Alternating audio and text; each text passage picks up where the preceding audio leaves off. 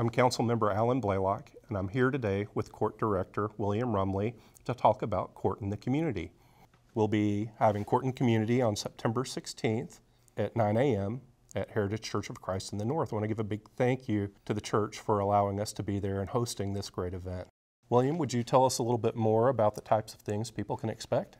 Absolutely. Thank you, Council Member. So we're excited um, to be at September 16th in north part of Fort Worth um, at the Church Heritage Church of Christ. And uh, we are doing our warrant forgiveness court in the community. What happens there is if an individual has a Class C citation with us that's outstanding, doesn't have to be in warrant, it actually can be anything that's an outstanding case. It's a, a criminal citation with us, traffic, that type of thing.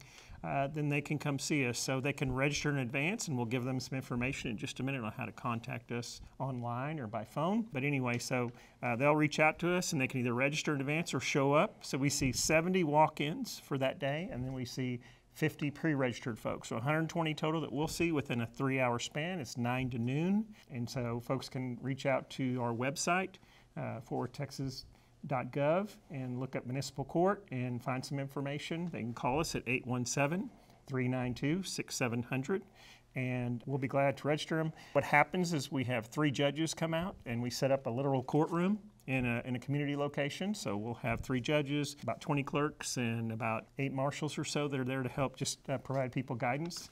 Um, and so uh, They'll be there to uh, direct them to the courtroom. Uh, it is an in and out process as quickly as we can get you in and get you processed. Um, and it is a casual affair, so you don't have to dress like you're going down to the courthouse. Um, and it provides a safe opportunity. Perfect. Who will be there with you?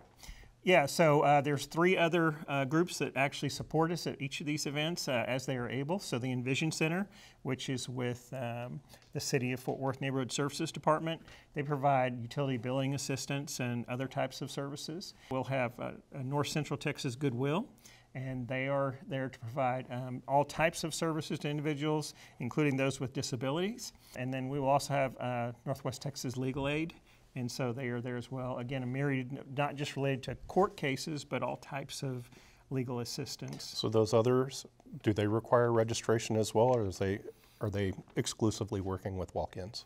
So they can do both.